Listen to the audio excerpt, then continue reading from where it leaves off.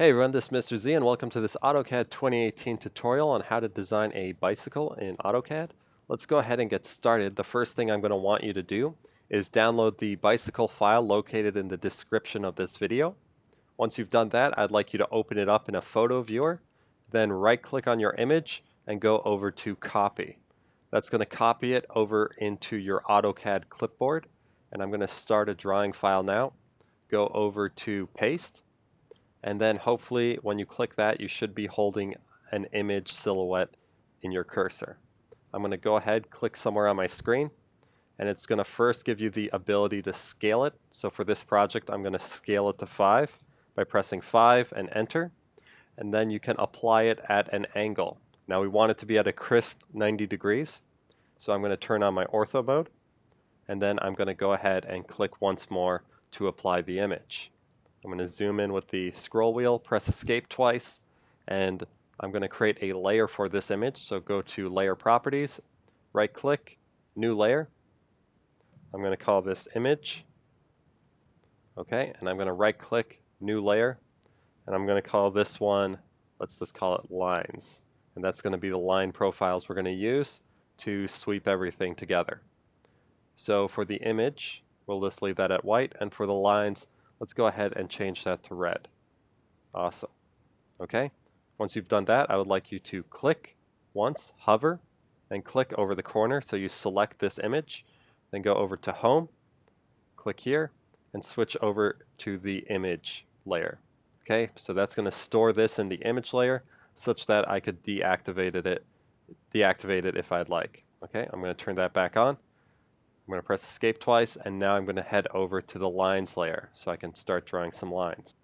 And the reason we dropped the bike here is now we can use its frame as our line references. Let's start to draw some lines now. L for line, enter. Make sure you turn off your ortho mode or you will not be able to draw at angles. And then we're going to draw a line for this portion of the frame.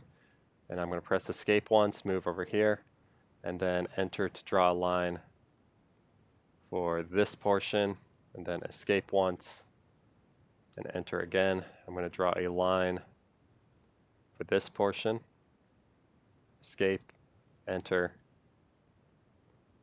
Let's draw a line for this over here. I'm going to go in just slightly like that. Okay. Escape, enter, I draw a line for this portion. And I'm to keep going just a hair more. Escape. Enter. I'm to draw a line as well for here. Escape. And that's those are all the vertical lines because these uh, these will contain the the wheel so they can't actually be flat. We're to have to kind of curve them around. Okay, so starting with the bottom one, I'm going to rotate the screen by holding down shift and rolling the middle scroll wheel. Head over here, turn on my ortho mode, and press L for line. I'm going to draw a line vertically up, and we want to be consistent with how we do this, so I'm going to say 0.3 for mine. If yours is too much, just don't use 0.3, use something more than that. Okay, and then I'm going to just stretch a line out. It doesn't matter if it matches or not, you just need to have a line kind of sticking out there. Okay, and I'm going to do the same over here. I'm going to enter to activate my line tool, go vert vertically up 0.3, and then I'm just going to kind of drag this down over relatively to the point like that, okay? So I have two lines in place. We also technically would need one over here. So let's just build off this line that we already have. I'm going to draw a line that just goes to say about there. And now I'm going to draw another line going up, three, enter, and then going over to this part over here. Okay, press escape. Okay, now that we have our lines all drawn, we're going to have to rotate those. So go ahead and use the command rotate, R-O-T, enter, and I'd like you to select these two portions first, enter, and I want you to click on where they meet that flat portion like that. Okay, so you should have the ability to control the angle.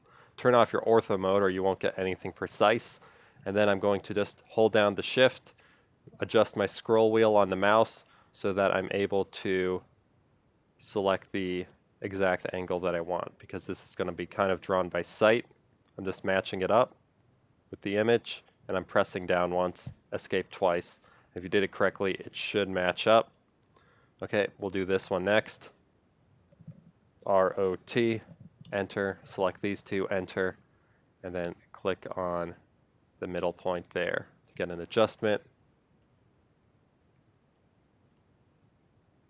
And I'm going to adjust it to there. Okay?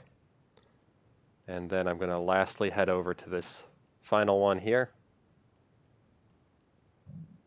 ROT, enter, select those two, enter, and then click there, adjust my view, and get this one in place. There we go. Uh, a little off. I'm going to get one more try with this one. ROT.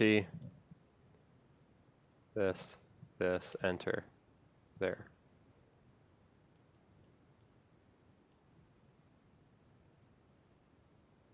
There we go. Perfect. So now we've aligned all three into place. Let's go ahead and smooth this out.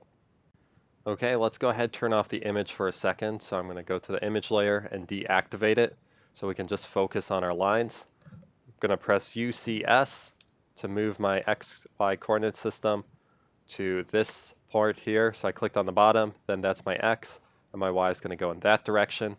So it's facing like that. And then I'm going to draw an arc.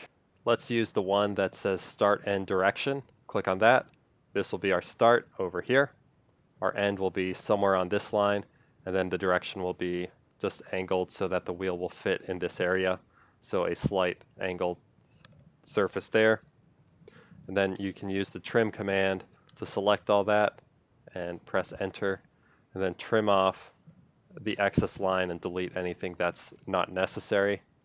Okay, we're going to do the same now for this one. Start with UCS, enter. I'm going to put it on the top here. Then I'm going to go with my X and with my Y like that. And then I'm going to go to the arc tool, start end direction, and I'm going to start there and there and adjust the slight angle like that. Use the trim command, select everything, enter, and trim off the unnecessary portion and delete the rest. So we're going to have a arc there. Okay, and hovering to the last one here.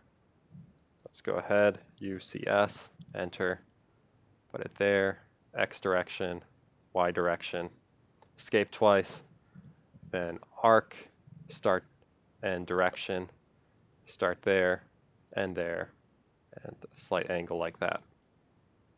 Perfect. Trim command, enter, select, enter, and trim that off, escape twice, click that, delete that. Perfect. So now we have these adjusted to fit in the wheels. That took a lot, so take a break and I'll see you in part two.